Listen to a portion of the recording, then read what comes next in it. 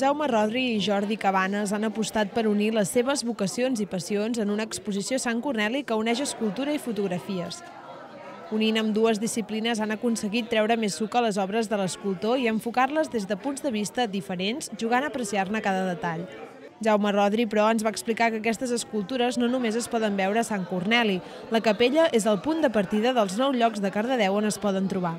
La veritat és que jo pensava fer-ho en dos o tres llocs, però tothom que li vaig dir va dient que sí, que sí, que sí, bueno, fins a arribar que, a part de Sant Corneli, doncs hi ha nou llocs més on hi ha peces. En algunes hi ha la fotografia i tot, i en algunes no hi ha fotografia perquè el fotògraf no, no, no ha donat l'abast, no? I llavors des de Magatzem Sant Antoni fins a Artimarc, fins a de Llibres, en fi, tot el centre del poble, la joieria Marc, les novetats, el compàs, en fi, la sabateria Martí. Rodri també ens va parlar del món dels càters, el tema de la principal escultura de l'exposició i el que sovint ha motivat les seves obres.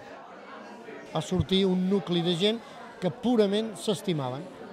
Entre ells es, es donaven la categoria de bons homes els uns als altres i eren una gent d'unes conviccions brutals perquè el pla de, dels cremats a Montsegur doncs allà eh, hi van anar 286 persones, famílies senceres, es van tirar al foc ells voluntàriament, poguent-se'n escapar perquè els oferien la possibilitat, si renegaven del que creien, doncs escapar-se de la foguera, i no, no, es van tirar a la foguera, amb un acte suprem de crida al món de que la llibertat és primer que tot.